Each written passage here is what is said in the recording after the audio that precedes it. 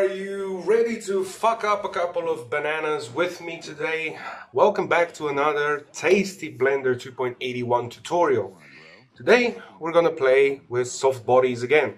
So we're gonna continue from our last tutorial. We're gonna do a bit of soft body and rigid body collision type of playing testing. So let's get into it. I've opened a brand new project. Uh, basically, you want to get your banana into this project. Now, how you can do that, just go to File, go down to Append, choose the project where you were working on your bananas, and then go under the Object Files and select your banana, and that's going to import it inside. I, I also taken the liberty just organize it so it's right in the center. We're gonna just offset it by just a bit so it's a bit outside. Now in this one, we're actually going to animate the banana and a object so that when the banana collides with the object, it basically bends around the object and falls down. So what we're gonna do, just make an obstacle, we're gonna make a plane as a background and we're gonna set up the camera. Okay, let's start with the background. We're going to go to add a plane, just rotate it on the x-axis, scale it up like so, and then scale it on the z-axis just to be sure. Yeah, like so. We're gonna add a cylinder next. We're just going to rotate it by 90 degrees like so. And we're gonna pull it out like so. Now press S Shift Y so you can scale it on the Z and X axis and we're gonna scale it to about, let's say about here. Go into edit mode, pull this edge a bit further out, let's say to about here. Now go into object mode and control A to scale. This is very important because we're gonna bevel this edge over here. I'm gonna do it like so and yeah, about there seems right. I'm gonna go back here, just going to press this, and we're gonna bevel this one too. Just gonna give him a couple of less bevels. Okay, add the subdivision modifier, let's say about so. Yeah, this seems, this is okay for now.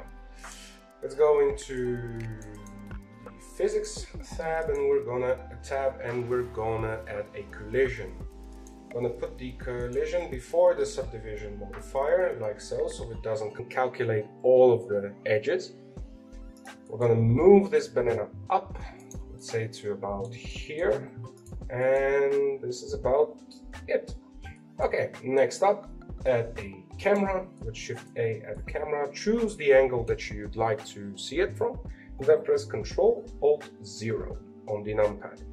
Basically what happens is it's going to position the camera from the point of view that you were viewing it.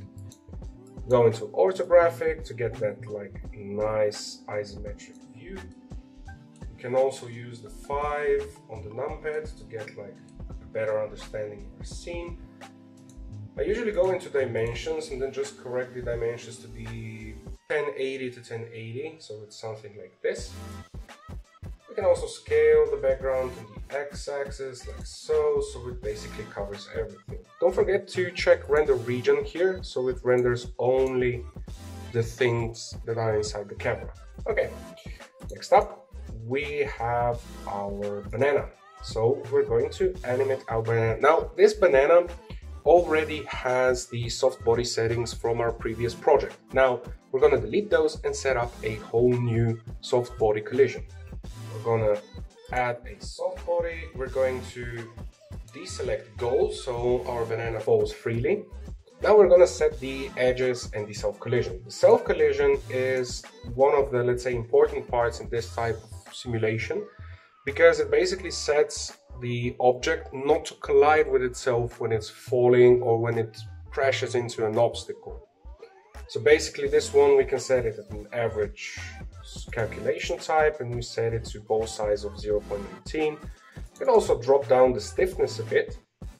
And up here, we're going to increase the bending to about 5. I usually just go with the middle value and then correct it from there. Push-pull, I usually get good results from 0.7, 0.7.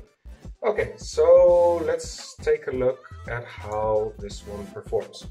So as you can see, it's actually a really nice bounce. It's really good, but the only problem is that it clips through our background. So what we're gonna do, we're gonna add a collision for the background too. Uh, we'll leave this thickness as is, but we have to do one more thing.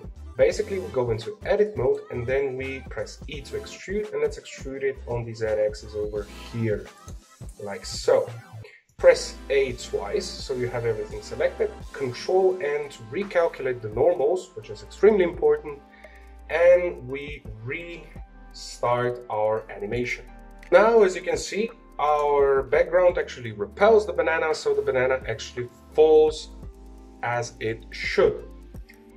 And that's basically it. I would suggest that you work with uh, Cache uh, in this case. So you basically bake your animation and then see the results, then delete the bake, let's say apply some different changes, but just experiment with the values, especially with the pull and push values, with the bending values.